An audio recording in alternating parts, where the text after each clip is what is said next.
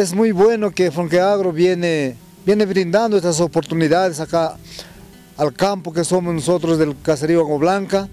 Y de mi parte, de mí, estoy agradecido porque siempre ellos nos dan unos buenos consejos y nos, nos identifican cómo ver los, los ganados, cómo ver los becerros, para que ellos sigan creciendo más lindos. Y nosotros estamos agradecidos también de todos ellos y de, de proyecto de Conga, de Anacocha, ¿no es cierto? Que ellos se preocupan por nosotros del campo también, no solo por el pueblo, que nosotros somos vecinos de Conga y también que nosotros apostamos por Conga de acá de, Agua Blanca.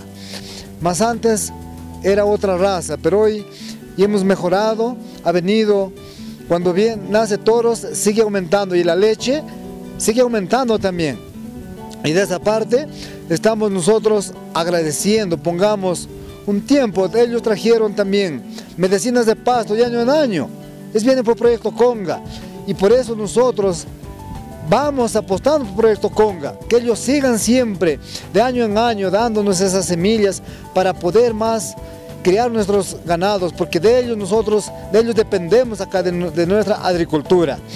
Y agradecemos de esa parte a Fonqueagro y a Yanacocha y acá el caserío Agua Blanca. Muchas gracias.